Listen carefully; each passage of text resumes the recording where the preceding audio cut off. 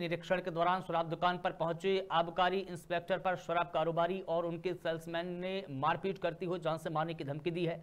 इस दौरान आबकारी इंस्पेक्टर की वर्दी भी फट गई।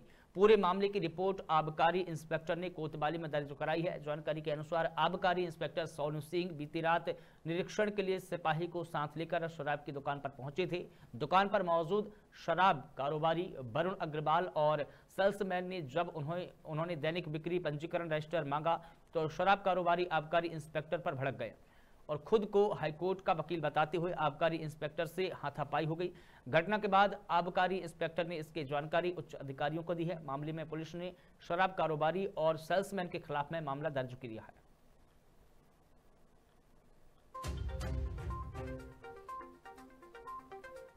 उनके साथ में बदतमीजी करी है, मारपीट करी है। जिस संबंध में थाना पर पंजीकृत किया गया है बदनी कर रखी है।